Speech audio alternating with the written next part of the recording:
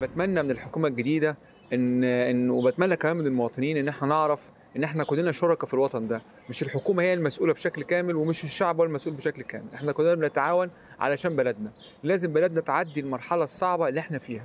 وإن شاء الله هتعدي بس هتعدي بتكاتفنا إن شاء الله يكون الحكومة الجديدة عند حسن ظن الشعب إن شاء الله وتشوف الشعب في تخفيض الأسعار والأخشاب والأسمنت والحديد.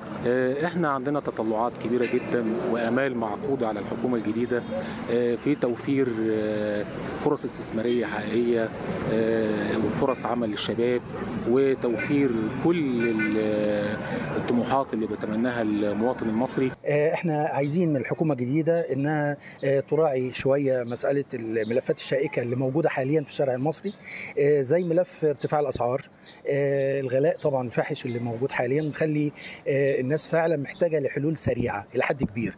المجمعات اللي بتعملها الحكومة ده شيء كويس إنه يبقى موجود بتوفر لنا سلع شوية بأسعار هو أهم حاجة التخطيط العلمي كما أمر به السيد الرئيس. يعني كل وزارة يبقى عندها خطة وهدف تحققه.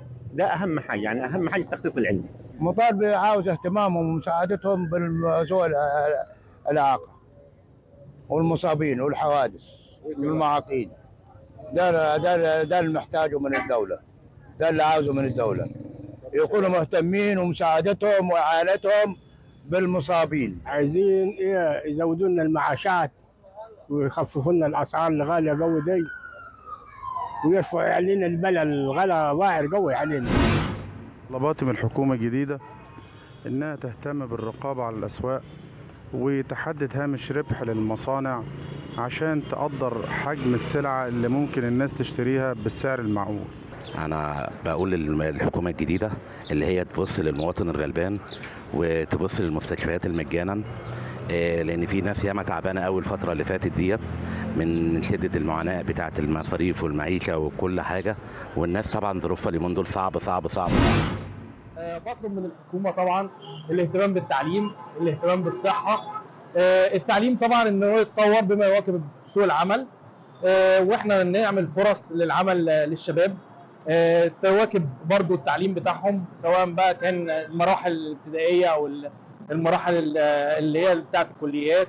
بطلب من الحكومة الجديدة إن يكون ملف التعليم الفني والمهني ده أهم أهم الملفات اللي إحنا المفروض نشتغل عليها الفترة الجاية عشان يكون سوق العمل متاح لجميع الشباب. طبعا الصحة بطلب إن يكون في توفير احتياجات المرضى في المستشفيات. وأنا شفت كفاءات مستشفيات ياما اترفعت وأتمنى إن إحنا لو في حاجة بقى يكون تم الانتهاء منها.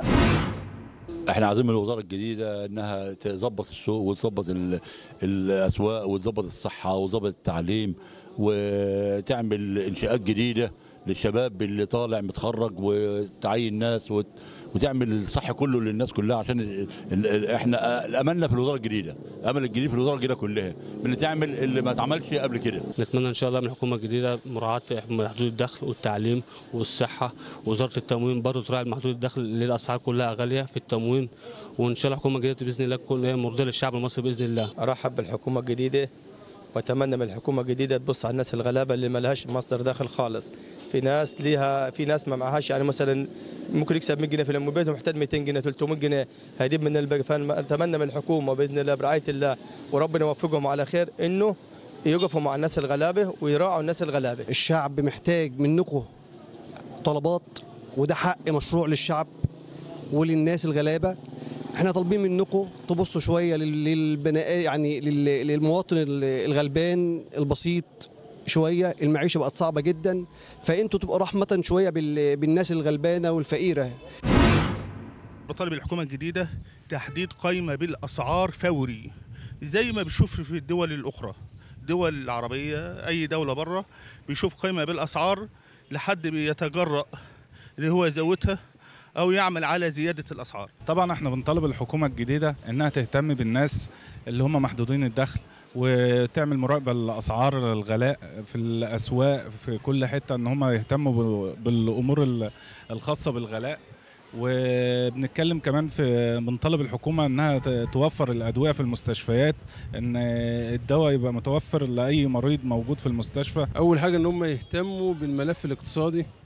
ويعني يهتموا الأول بالصناعة لأن ما فيش دولة بتقوم بدون صناعة. يهتموا بالزراعة ما فيش دولة بتقوم بدون زراعة. ماليزيا عشان تتقدم وتطلع آه، في في مصاف الدول المتقدمة.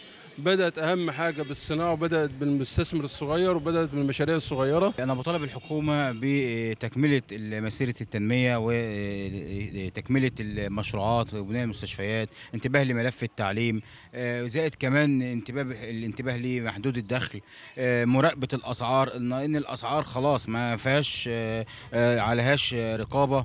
آه، النهارده بنقول للحكومة إن في بعض ال- الملفات زي ملفات الإسكان زي غلاء أسعار آه، الإسكان وغلاء أسعار الشقق. أنا بطالب الحكومة المصرية بالالتفاف والنظر للملفات آه، محدود الدخل عامة. نطالب الحكومة الجديدة بمراقبة الأسواق نطالب الحكومة الجديدة بالنظر لمحدود الدخل نطالب الحكومة الجديدة بالحد من الدروس الخ- الخصوصية وعودة المدرس لمدرسته علشان آه، نشوف يعني آه، الدراسة وأولادنا يت- يتعلموا في مدارستنا في مدارسنا الحكومة كما كنا عليه من قبل الجمهورية الجديدة اللي نادى بها السيد الرئيس آه، تتطلب من الحكومة المواطن وقف جنب الحكومة كتير وقف جنب الدولة وما زال ويستمر. لن يبخل على بلده بأنه يصبر على أي متاعب. ولكن إحنا عايزين انطلاقة انطلاقة في القضاء على البطالة آه، انطلاقة في تعزيز الأمن آه، الاجتماعي زي ما قلنا في آه، إقامة لا مؤاخذة يعني تجمعات سكنية اجتماعية تيسير فرص عمل للشباب من خلال إنشاء مصانع. وتعزيز الأمن القومي لأن إحنا بيحيط بنا طوق آه، آه، شديد الحساسية آه، بيحيط بمصر. فنتمنى يعني إن إحنا عيوننا تبقى على مصر وندعو المواطنين في المساندة والمشاركة آه، في هذا الاتجاه لأن ده يهمنا جميعا. أنا عايز احقق حاجتين. الحاجة الأولانية فتح التراخيص عشان الشباب يشتغل والناس تشتغل والشباب اللي عايز يتجوز يبني يسكن. أهم حاجة فتح التراخيص. ده المجال اللي أنا بتكلم فيه ده يخصني أنا ويخص ناس كتير. أنا هشتغل والناس هتبني واللي عايز يتجوز ولده هيبني له. وأنا وأنا واللي زي أنا بتوع ال- المباني والصب والبتاع هنشتغل. ازدواج الطريق وده مهم جدا جدا جدا. آه لمنع طبعا أو تخفيض الحوادث اللي بتحصل لأن إحنا ماشيين في فردة واحدة ذهاب وع- وعودة فردة واحدة طبعا ما تنفعش. الشباب ال- ال- العطلان ده آه نشوف له آه، يعني آه مصانع. في م... يا ريت انشاء مصانع البلد تش- تشيل مصانع كتيرة هنا.